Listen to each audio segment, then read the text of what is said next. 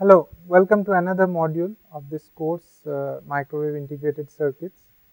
In the previous two modules we had covered the various uh, techniques for filter synthesis.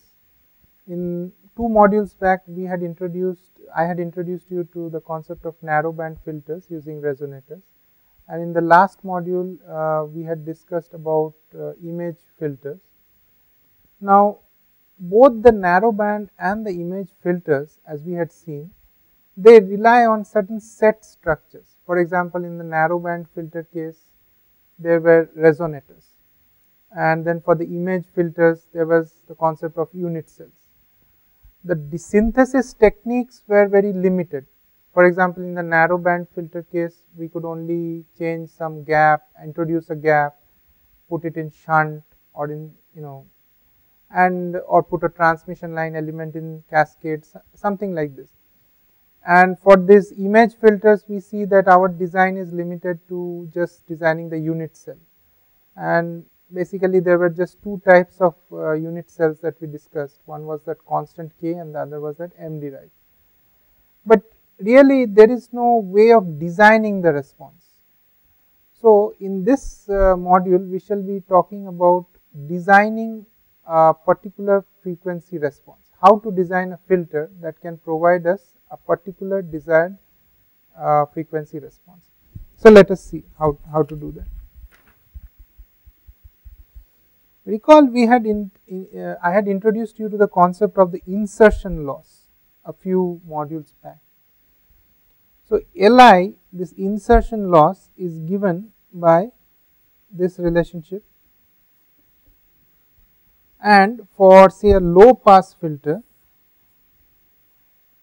Li should be high in the should be low in the pass band and high in the stop band. So, if we plot make a plot between Li and omega c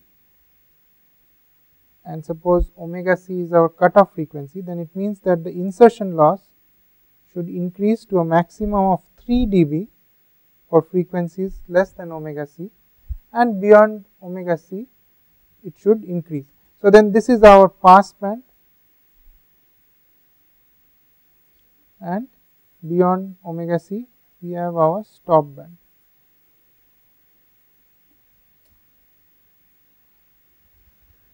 Now, the technique for this synthesis is based on this insertion loss. Suppose we are given a certain insertion loss what circuit can we realize, can we design so that a particular insertion loss characteristics is.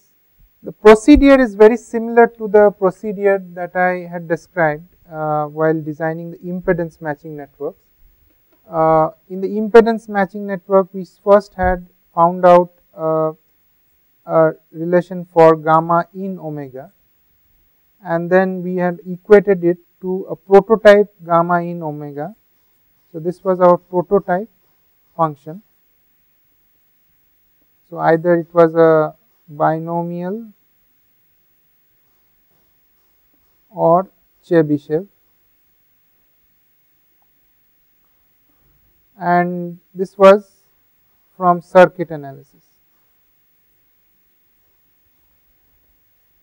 So, this was the case for impedance matching.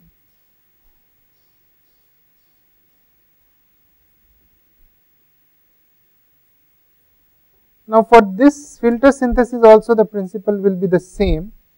We will be given a certain S21 or uh, or certain insertion loss transfer function and we will be equating it to a prototype case. Now, we can do it both for binomial and Chebyshev, but I will just show you for the bino, uh, for the uh, I beg your pardon, we, we will be equating this to two prototype functions. One is known as the Butterworth prototype and the other is a Chebyshev prototype. So, let us instead of discussing the theory behind this, let us directly go to an example. Uh, so, let us suppose we are given a second order insertion loss function uh, as shown here. So, suppose our 1 upon uh, uh, S, uh, suppose uh, we are given uh, a third order, I beg your pardon, a third order insertion loss function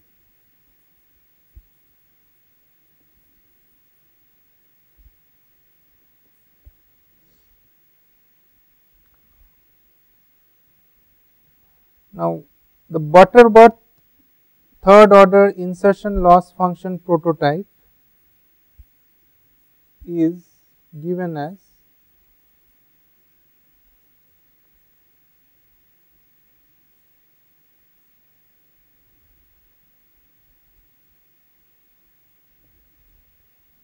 this one. Now, this uh, can be equated as Suppose say, so for our case we have n equal to 3 and say our input output impedance match required is 1 ohm and say our cutoff frequency is 1 hertz. Now, this is not the usual case say usually you will have Z0 as 50 ohms and omega c some very high some high frequency or various frequencies according to the requirement. Uh, but just for this case uh, first we shall be deriving our prototypes for these ideal values, idealized values and then we shall be general finding the transformation or how to transform the circuit so that we get whatever impedance matching that we want and whatever cutoff frequency that we want. So, we there are some scaling techniques for that which we shall cover later, but for now we shall be considering our Z0 to be 1 ohm, omega c to be uh, it should be actually omega should should be 1 radians per second and this is a third order Butterworth prototype. So, I, I said that the Butterworth prototype is given by this function. So, then S21 square mind I, I should emphasize that this is the insertion loss Li. Now, S21 square for these particular values of Z0 and omega c will become 1 plus omega raised to 6 because n equal to 3. So, this is our S21 square and then from here once we know S21 square in the frequency in terms of omega we can convert it to a Laplace domain that is in the S domain. So, to do that, so we have our S21 square as 1 upon omega 6 and the usual way usually way to or the the most common way to convert from the so this is in the Fourier domain if I have to convert it to the Laplace domain that is in so this is in omega Fourier domain, but Laplace domain is in terms of S.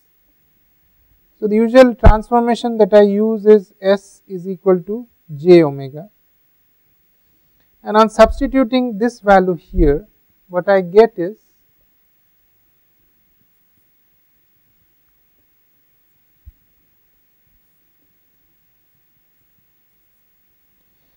I should note you should note that this is not always possible that is we cannot always have conversions from the Fourier domain to Laplace domain using this transformation. For example, there are some functions like the unit step function which does not have a Fourier transform, but has a Laplace transform. But anyway, we assume that our function, our particular transfer function or our particular insertion loss function has both a Fourier transform as well as a Laplace transform. So, using once we do this S21 square comes out to like this and if we assume that our circuit is lossless then we know how to find out S11 square. It will be 1 minus S21 whole square and this will be equal to minus S raised to 6 upon 1 minus S raised to 6. Now, this S11 square mod modulus square S11 modulus square can also be written as S11S times S11 conjugate of S.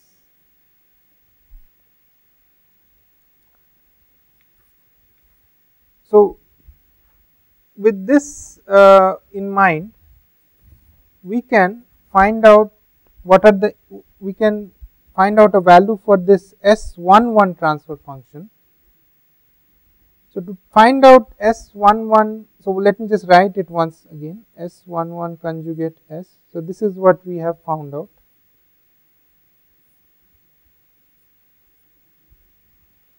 If we find out the roots of this denominator, then there are 6 roots and if we select only those roots that provide that are stable that is those roots who lie in the left half of the S plane. Then after taking only those roots, we find out S11S to be equal to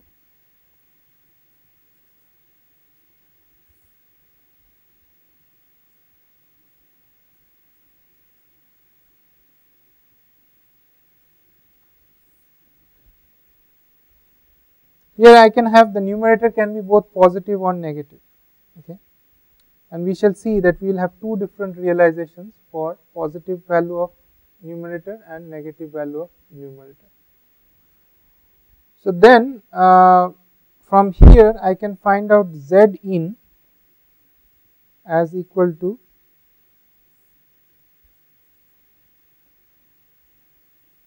and this comes out to be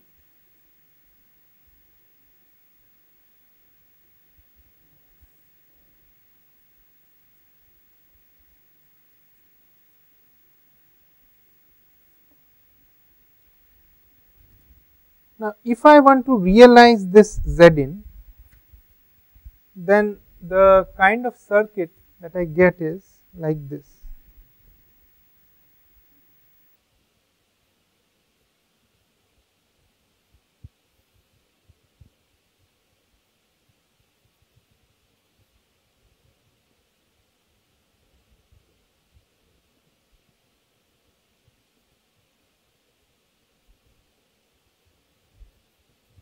This is my z.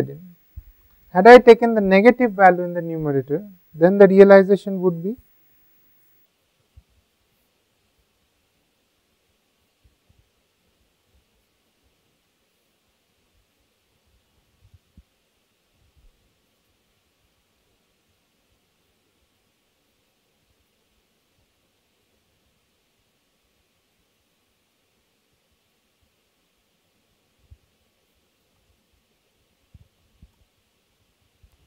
In fact, it can be shown that for uh, you know any nth order uh, transfer function for or any nth order Butterworth prototype transfer function that we take, the values of these inductors capacitors whether for the T implementation or the pi implementation provided we take Z0 as 1 ohm and omega c as 1 radians per second.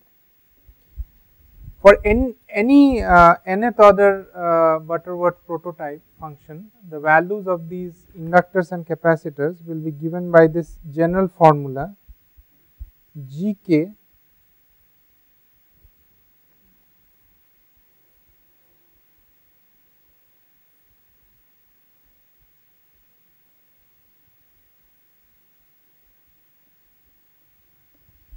where Gk are like this one. For example, if we take this prototype, I can call this as G1, this as G2, this as G3. So, it is like this.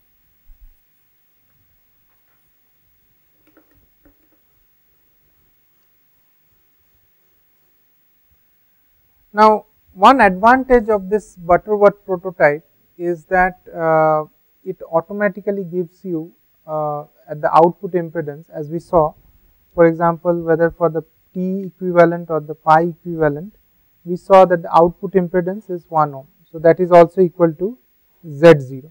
So, in other words these Butterworth prototype functions are auto matched. But if we you know we can have a similar implementation for the Chebyshev function as well, uh, Chebyshev prototype function as well and there we will observe that at the output we do not get a 1 ohm impedance. So, the outputs are not matched and so some kind of matching structures have to be present at the output to achieve this. At the beginning I had said that uh, we can do a transformation from uh, this low pass to high pass prototypes.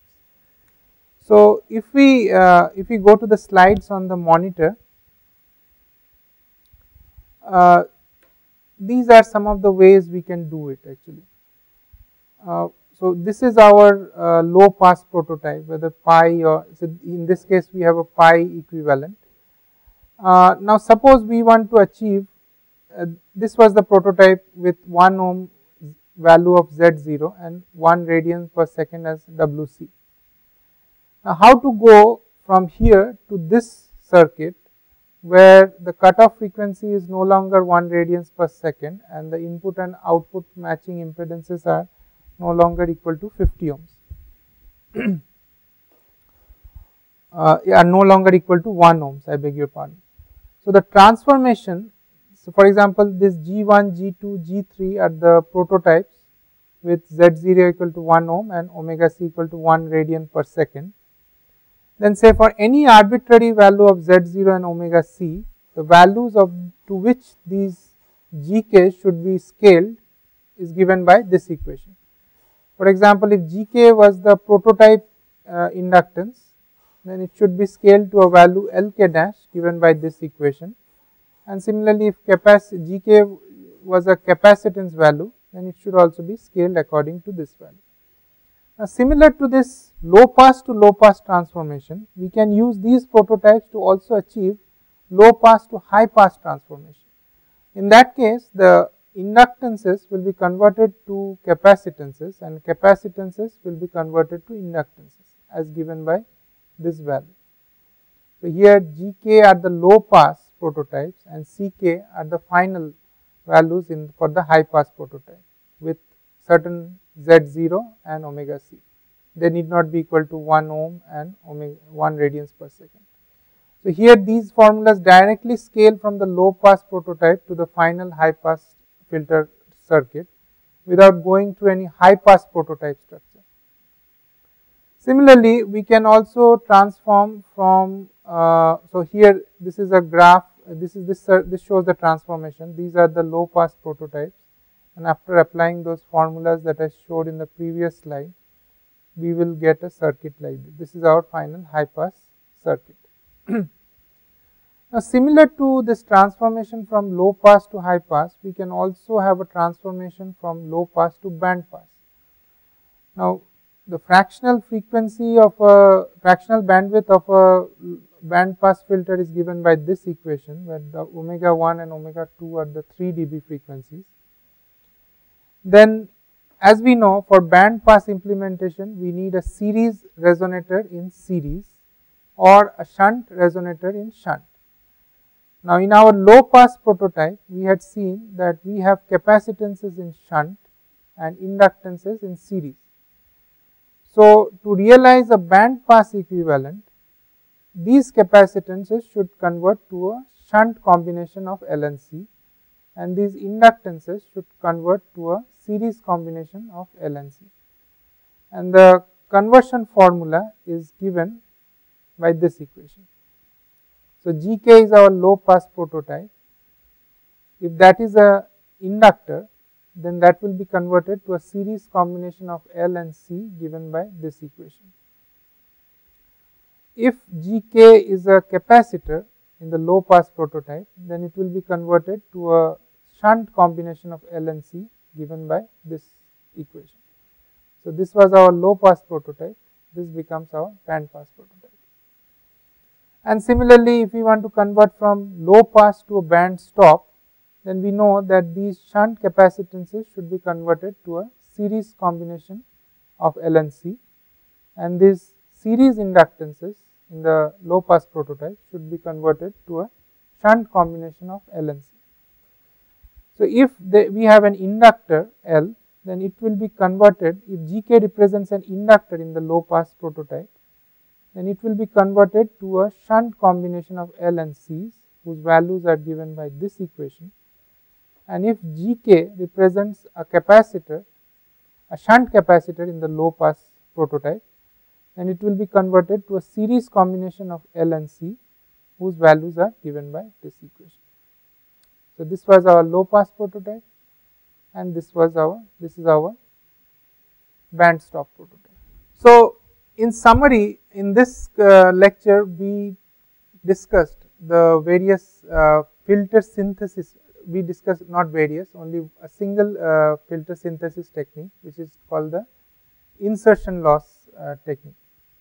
Now, the image filter techniques that we had discussed in the previous class they are also to some extent synthesis, but then as I mentioned that our design is limited only to the unit cell design. In the case of these synthesis techniques as we studied in this module, here we are we have been given the complete filter characteristics and we design the filter as a whole without relying on unit cells. This, uh, this is the most common uh, method that is used for synthesis of filters nowadays, but uh, we also see a problem in this so what we have discussed so far. And the problem is that we have been uh, talking about uh, we have been talking about lumped elements, but uh, as we know we have to deal with distributed elements. So, how can we realize distributed elements uh, from these lumped prototypes that we have developed? All the circuits as you saw, saw whether the low pass, high pass, band pass or band stop, they have all were described in terms of lumped elements. So, we have to have a method for converting these lumped elements to distributed elements. At the same time, we know that lumped elements do not have an exact distributed equivalent. So, then uh, we apply a technique called commensurate filter design.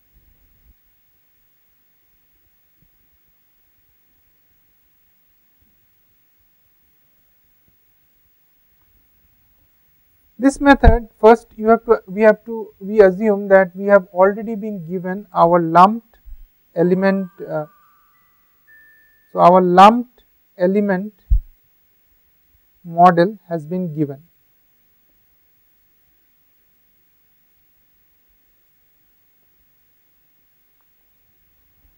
Now, let us go back to the shorted and open lines that we had discussed earlier.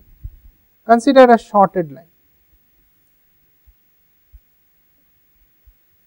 This is a short. Now, for this shorted line we know Z in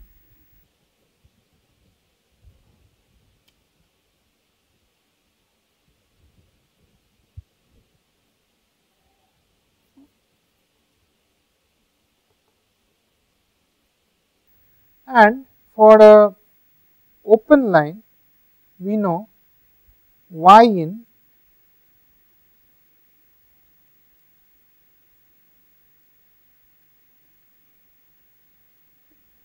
suppose we define a variable omega given by tan beta L. And the length of this element is say lambda r upon 2 where lambda r corresponds to certain frequency omega r. Then this can be written as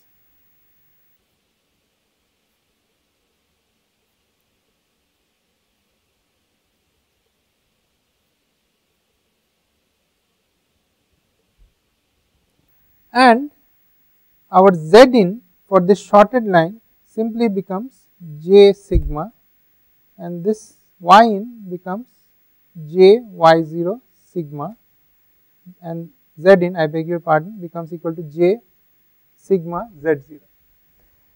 A sigma is a new variable in place of s. Now, from the s domain we have gone to the capital sigma domain and you see that this shorted line if we keep this length constant to some value lambda r upon 4 then this shorted line behaves exactly like an inductor and this open line this behaves exactly like a capacitor. So, that is this commensurate filter design the basic principle of this commensurate commensurate filter design that if in our entire system the lengths of certain elements like the short and open, if we keep all the lengths of the short and open elements same, then we can we can replace the inductors and capacitors that we found using those synthesis techniques that we described just now with these short and open lines. So, for example, let us see uh, we had say a low pass prototype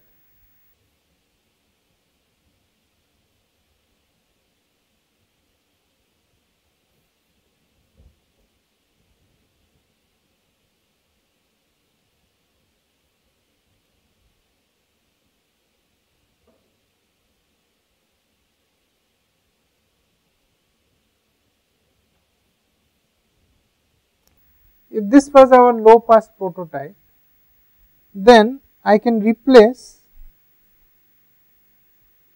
this inductor by a shorted line like this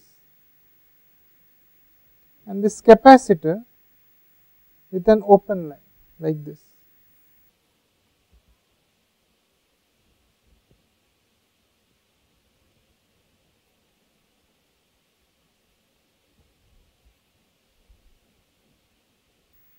I choose the value of the characteristic impedance equal to L1 and I choose the characteristic impedance of this one also equal to 1 by C2.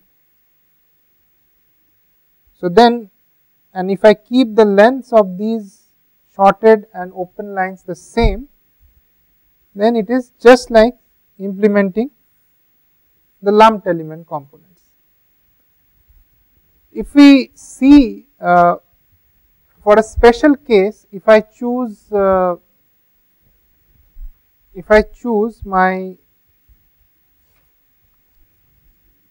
omega r to be equal to twice of omega c, if I choose this, I can choose this, but if that is not necessary, then omega c equal to 1 implies capital omega c also equal to 1. In the book by Pozar, this particular relation is taken and that is why omega c equal to 1 corresponds to capital omega c also equal to 1. So, in that case what we will see is suppose this is the kind of insertion loss that we wanted.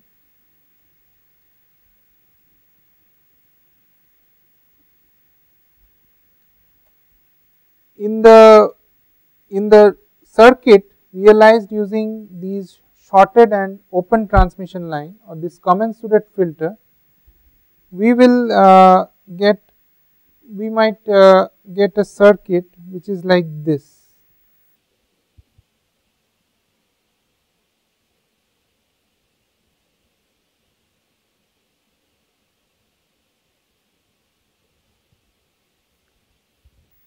So, this is for the commensurate filter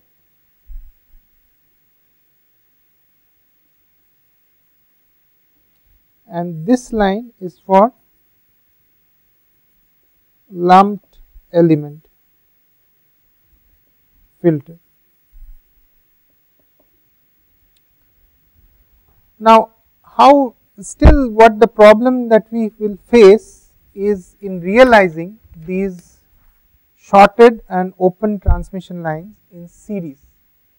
We saw that we have a problem of realizing a shorted line in series. To get over this problem, uh, there, are, there is a certain identity known as Kuroda's identity. So, if we go to this uh, to the slides on the monitor, a Kuroda in the book by Pozar there are four Kuroda's identity which have been shown of which two are of interest. One is here if we have a capacitance, of course these capacitances and inductors that are shown here are all in terms of the transmission lines either. So, if this is a capacitance then it implies an open circuit line, if this is an inductance then it, it implies a shorted transmission line. The, the size of the length of these shorted and, and uh, open line open transmission lines are the same and we further have a new element called unit element represented by this UE which has an electrical length same as these L and C's. Now, if we have this structure then this is equivalent to this and this circuit is equivalent to this. What we see here is that a series inductance both these transformations, a series inductor can be converted to a shunt capacitor.